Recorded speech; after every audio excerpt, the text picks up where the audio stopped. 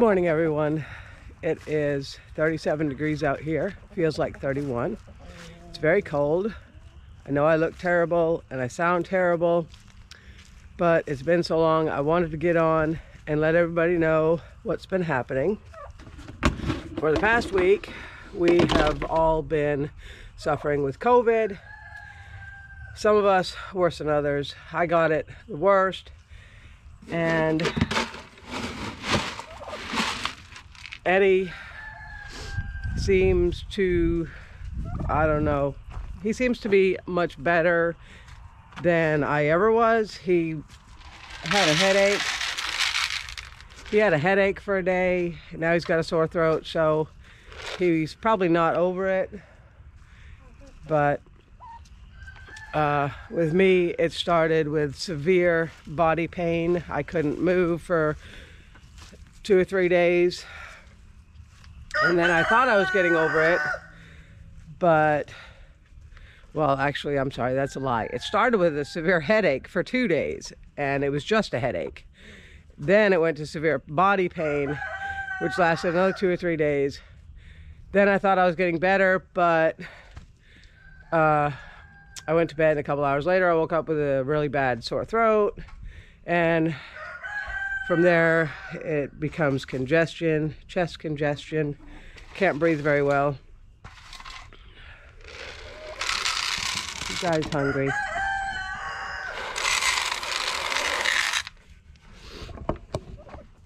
Um, Mikey so far has just had a bellyache for a couple of days no other symptoms. So I don't know if he's going to get it worse or what's going to happen. I don't know. but before all this happened, uh, we were spending all of our time hunting because it is hunting season. Uh, I don't remember when it started. I think hunting season started in November and it ends February 10th. And we were we were a little upset that we were spending so much money on red meat in the store that we decided to spend most of our time hunting because we are hunting the property right behind us. So we didn't have to go anywhere. It wasn't costing us any money. We just had to go out and sit all day. And that was the first reason that we weren't making any videos. I'm sorry, my throat is very raw. Um, we did so far get four, we harvested four deer. Eddie got two small bucks and I got two does. The limit around here is a doe per day along with three bucks for the entire season. So we are well within our limits. We still need more. We have figured it out that we need nine deer in order to last us for the year. Excuse me. so, um, we are running out of time to get the nine deer that we need. but we're we're working on it. We are trying, and now that we're sick, it makes things a little bit more difficult. But we're going to keep trying because for us, it's not just it's not a sport. It's to fill our freezer with the red meat that we need to get us through the year. As you know, we have plenty of poultry, turkeys, chickens, quail. We have the pigs but the red meat was always the one thing that we couldn't supply ourselves because last year we couldn't find any deer. So, well then after the hunting season, it was, or during the hunting season, it was Christmas. You know, we spent some time with family for that. And my son came from Texas, brought my grandchildren. It was the first time I got to see my grandchildren.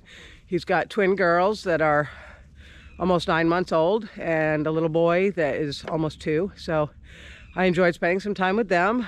Uh, and then, so after that, that's when we all got sick. And that's why we haven't had a video out. And I'm sorry, I know. Uh,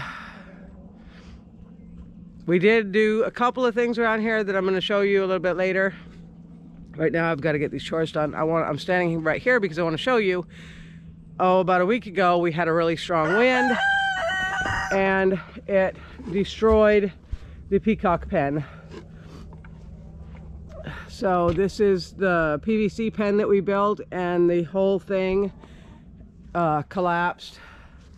The shelter that we had up over the back, it blew down and we can't pick it up. It's way too heavy. So thankfully the peacocks did not get out. I just moved them into the pen right next to here. They don't have any shelter though, so as soon as we are up to building something, we need to get them some shelter, try to rebuild their pen or something. All the chickens out here are doing great. They're still laying as much as they were, even though it's freezing out here. My hand is freezing holding this camera. Now, another thing that I'm very disappointed in is you guys saw that we were breeding the rabbits.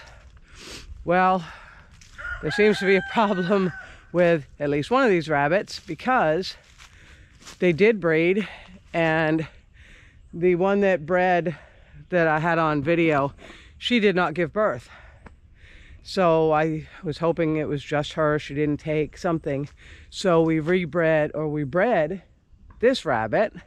She was supposed to give birth on the 16th and she did not.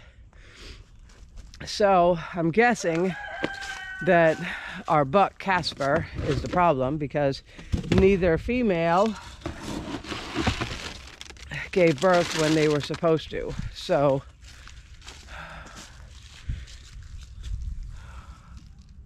I don't know. I mean, I don't know. Maybe it's too cold for them, but we had some really nice weather. So I'm guessing that our buck is just not fertile.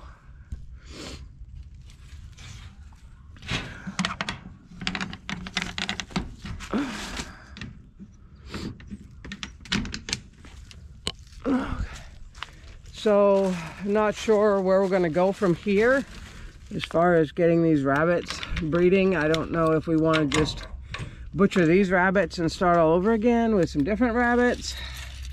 Hey, buddy. Hey, buddy.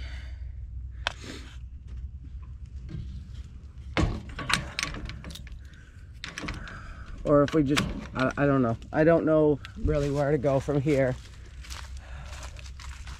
She's got plenty of food in there. And her cage needs to be cleaned. Bad thing about being sick is things don't get done the way you would normally do them or the way you would like to have them done. So today, I don't know, it's so cold out here, I'm freezing. But within the next couple of days, I need to get get a lot of stuff cleaned up. Get those rabbit cages cleaned out. Get the quail house cleaned out. Their their trays are really nasty. It's only going to warm up to about 45 degrees today so.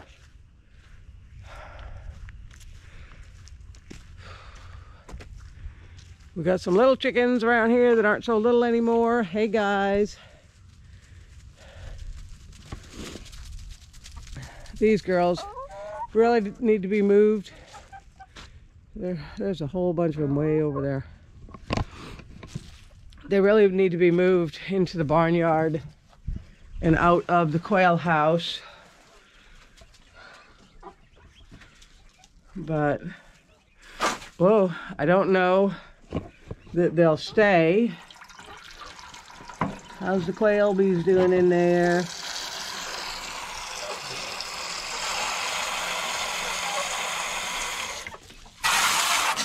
Goodness gracious.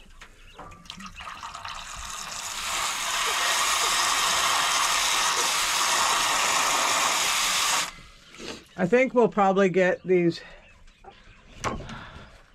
hopefully we'll get these quail butchered today, but I don't know. These, all the quail in this house need to be weighed and keep out the largest ones and then we'll butcher the extra ones. We really, we really, really need to do that no matter how we're feeling because right now we're wasting money. We're feeding them way past time to butcher because of everything that's been going on. So yeah, we're just wasting money now feeding them. So I think today we'll weigh them out and get them butchered. And you mamas are doing all right. Oh.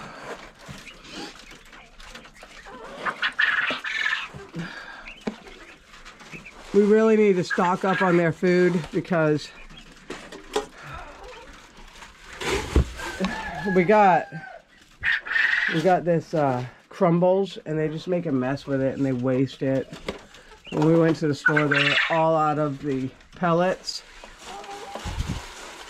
So we're giving them the crumbles, but they they waste a ton of it. I know it's dark in here. Sorry. It's, I really need to get a good light put up in here. But this place is a mess.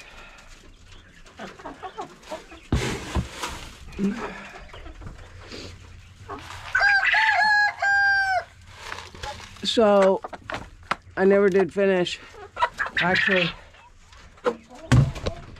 I kind of skipped to the I kind of skipped over the beginning of the COVID issue. Um, it actually came from Ocean. Ocean goes around and works for our neighbors. And, you know, he, he works for everybody around here, gets paid, all that. But he doesn't wear his mask when he's working for the neighbors. You know how it is. You're thinking, well, they're my neighbors. It's safe, you know, whatever. Well, Ocean came home sick. And you know, we didn't even think anything of it. Thought maybe he had a cold or something, but we don't really see much of Ocean. He spends a lot of time in his room when he's here. So by the time we realized he was, you know, sick, it was too late. We'd already been exposed. And yeah, so he was the first one to get it and give it to the rest of us. Okay, girls. So check out the pigs. We've had them for over a month now. Might be going on two months. And they are growing like weeds. My hands are freezing and I feel terrible. Sorry.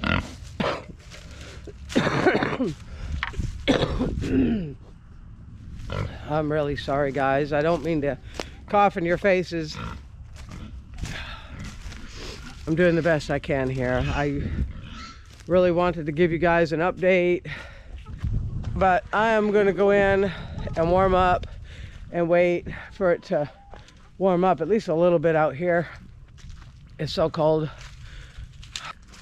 but I also want to show you what I managed to do to the kitchen during this time that we haven't been on YouTube so I'm gonna warm up and then we'll get back on it okay so we're in the kitchen and as you can see, if you remember from a while ago, the kitchen has changed quite a bit.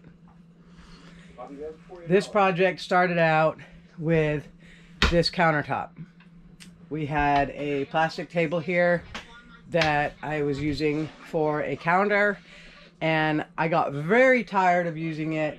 I wanted a hard surface, it's a little bit taller, a little longer, and I would have room for preparing food and such. So we saw I saw this counter at oh I don't know Home Depot or Lowe's, one of those, and it was only a hundred dollars. And I was like, all right, go down and buy me that countertop because I can't take it no more. So the boys went down and picked up the countertop for me. And at first, I just set it on top of the plastic table that was here, and that worked for a little bit. I moved on to I wanted to build the cabinets underneath. So I built this cabinet And it doesn't have doors yet. It does have drawers, four drawers along the top. I did not show building this because as you know, my shop is not done. It's a very uneven dirt floor and it was very difficult to build this without having a flat surface to set it on. So some of the work got done here in the kitchen, which is very crowded, very hard to set up the camera for anything. Plus it was a lot of go outside and make a cut, bring it back in, see if it fits, bring it outside. A lot of back and forth. And it's the first thing I have ever built for anything. I have bought old furniture, sanded it down, put a new finish on it, made it look nice, but I've never actually built anything. So this was a first. And it's not perfect, but each cabinet has some shelves in it. I just kind of measured what my biggest thing was that needed to go in there and decided where to put the shelves. So that's how I did that. The drawers are soft close drawers.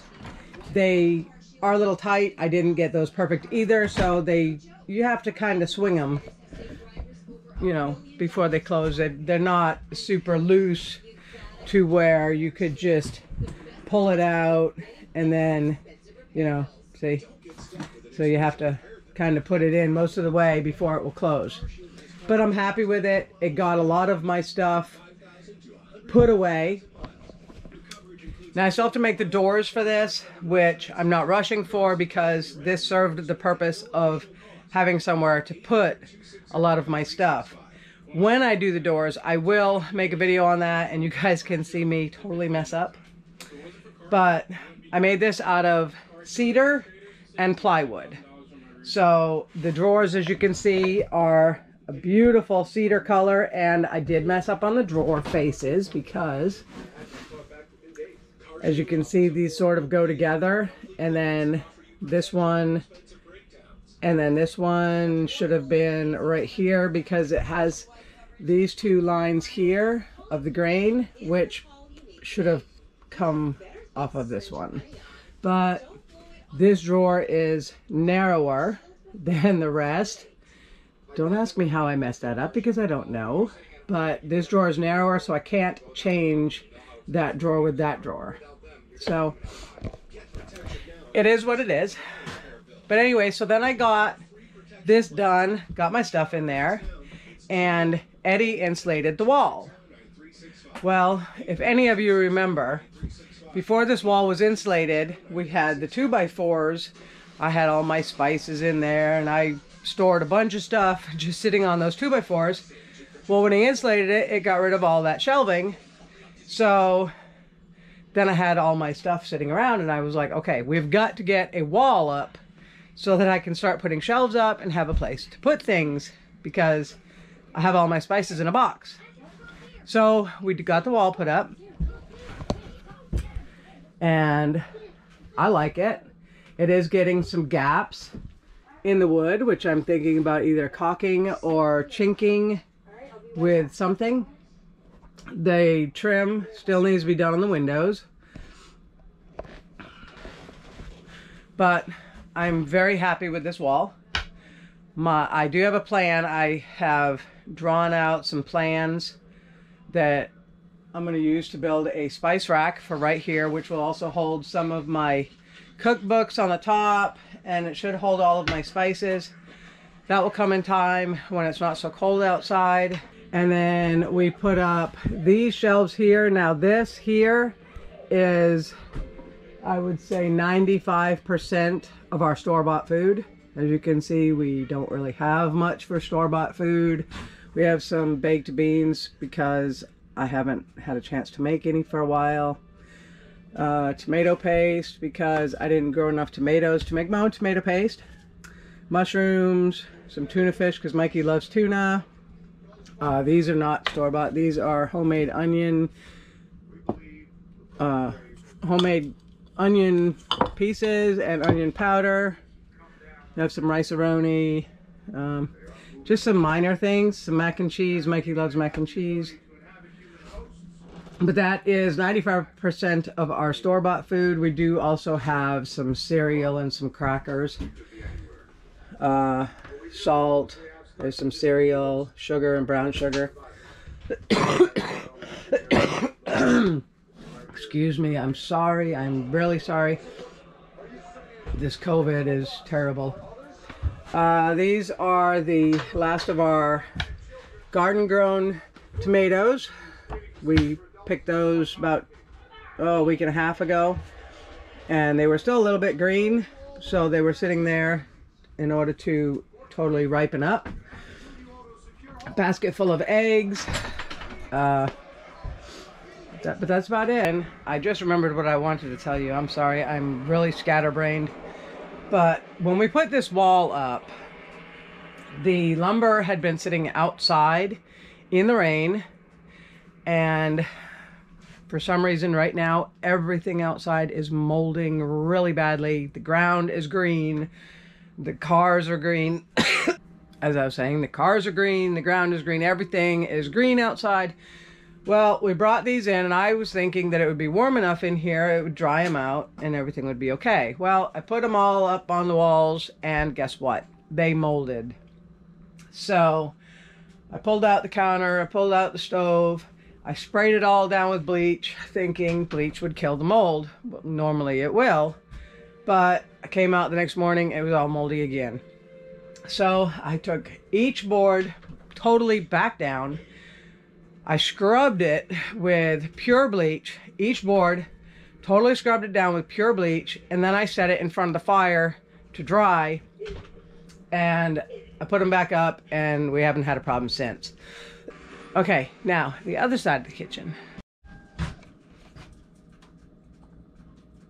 So this side of the kitchen is about the way it was. We did add some wall boards on the bottom. I didn't like the way they came out, so we're not going to do the rest of the walls that way. We'll just do the rest of the walls with one full piece top to bottom. We did add a TV because we are considering this our living room slash dining room. So we put in a new wood stove. This is smaller. It took us a long time to find a smaller wood stove. Ours is about twice that size, at least. Ours is huge. So we did get this one. It takes up a lot less room, which was very important for us because we put a couch in here. It's actually a love seat and it took us a long time to find one that would fit between the end of the freezer and far enough away from the wood stove that we wouldn't catch it on fire. So it's a love seat, but it works for the two of us. Mikey doesn't sit down and watch TV much. And so we have the TV there and the couch there. That's our living room. And then we have the dining room with the table here, which someday I do plan on building us a real table for out here instead of this plastic one. But there's so many plans for so many different things that need to be done that, you know, everything just takes time. Tiny's in his favorite spot on the back of the couch where he can feel the heat. Say hi, Tiny.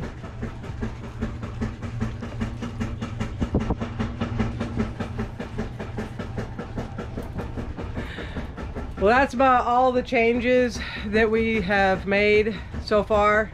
Um, like I showed you earlier, we do need to rebuild the peacock pen. We also need to get the quail butchered so that we're not wasting money on their feed.